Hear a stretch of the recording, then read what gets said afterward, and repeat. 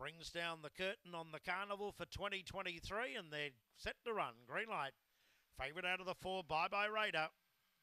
Racing Bye Bye Raider missed it. Well away the inside, Winnie Wendy with Bailey. Down the outside was Kaya Beach. Up now was Bye Bye Raider. Oh, there's trouble going to the first turn. Kaya Beach got flattened and Bye Bye Raider tackled the inside by far more power. Up to third, Hopeful Bella, followed by Winnie Wendy, Oh Mini. Then Kaya Beach, Volante, and last of all was Bailey.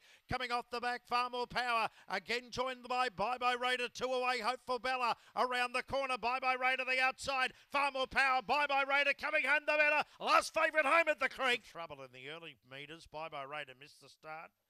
Was able to drive through. Um, Kaya Beach was up there early but got dragged